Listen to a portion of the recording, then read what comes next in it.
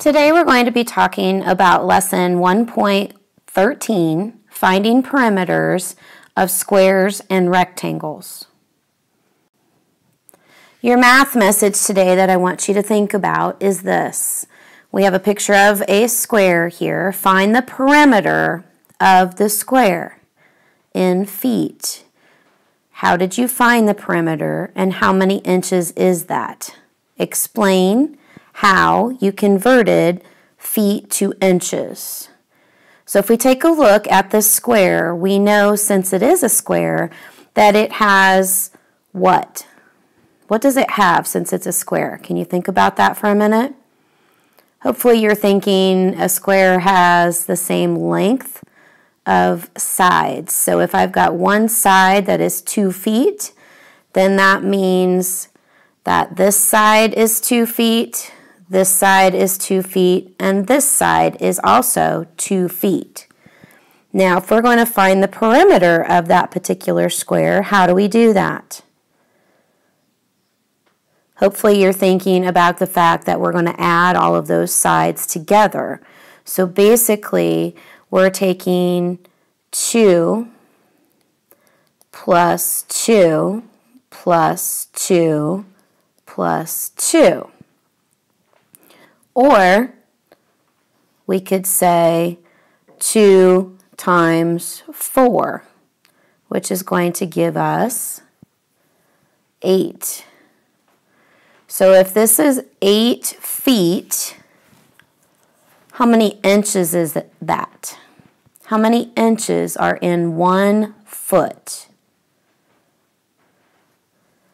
Hopefully you said 12 because there's 12 inches equals one foot. How many inches would 8 feet be? We would take that 8 times 12 or 12 times 8 to get that. And you're going to learn how to do this pretty soon, but we're going to take 2 times 8, which gives us 16. We're going to put the 6 here in the ones column and the 1 above the other one, which you're not going to be able to see there on the screen. And now I have 8 times 1 plus 1. So this is going to give me 96. So this would equal 96 inches. So our vocabulary that we want to be familiar with for this lesson of course, is the word perimeter, which is the distance around the outside of a particular shape. So we're looking at the distance around the outside for perimeter. A formula is an equation that we use to find a solution. So we are going to be working with several formulas this year, but our first one will have to do with perimeter and hopefully we will figure out what that is after we do this lesson. And then, of course, in order to be able to do a formula or answer an equation involving a formula, we need to understand what length and width mean. So the length would be how long something is, so the longer side. So this and this would be our length. And then our width is going to be our shorter end. So this side and this side would be our width. So that and that side would be your width. And that needs to be pretty well ingrained in your brain because you're going to have to be able to do some equations that have to do with length and width. So just to review, we're going to talk about perimeter and we know that's the distance around the outside. We're going to come up with a formula in class that we can use to find perimeter. And in order to find that formula, we have to understand what length and width is. So, in our lesson, we're going to identify a rule or a formula for finding the perimeter of a rectangle. So that's our basic focus of this lesson. And maybe you can come up with it as we do some practice. So let's look at these two rectangles that I have. Well, actually, one's a rectangle, one's a square. But if you take a look at the one in orange, we're going to say that this is going to be 2 centimeters. And this side is going to be 6 centimeters. Whoops, I wrote meters, didn't I? Let's erase that. Sorry about that, guys. 6 centimeters. All right, now, how do we do this? How do I figure out what my perimeter is going to be? I know it's a rectangle, and if I'm only given two of the sides, and one of them is the short side, which is my width, and one of them is my long side, which is my length, then my opposite sides should be congruent or equal. So that means if this side is 2, then this side is 2. And if this side is 6, then that means this side is also 6 because it's a rectangle.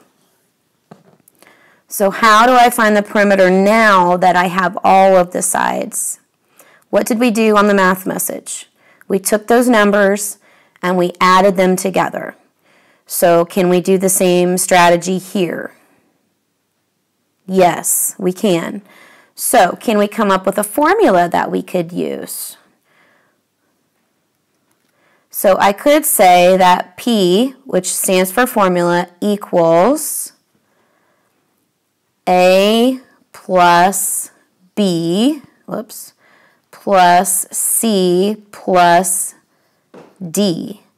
And basically the A, the B, the C, and the D represent all four sides of my particular shape or my rectangle or my square for that matter, okay? Because what we're doing is we're adding all four of those sides together. Could we come up with another formula? I'm going to leave that up to you. So if we use the formula that I've given here, then basically we're going to add 2 plus 2 plus 6 plus 6. Or we're going to take that and make it a 4. This is going to be a 12. And we can do that, which is going to give us 16. And we always have to label our units. So 16 centimeters is what we would come up with for that rectangle. Now let's look at our square. And maybe that looks like a rectangle, rectangle to you, but pretend that it is a square today. So if I only gave you one measurement and said that that was three inches, can you figure out what the other sides are knowing that it's a square? Hopefully you said yes, because a square is going to have all equal sides. So that means if that first side that I gave you is 3, then this side should be 3, this side should be 3, and this side should be 3. So oftentimes you'll be given a problem that they may only give you one measurement like that. And you have to understand and know that it's a square, and that way you can figure out what those other sides equal.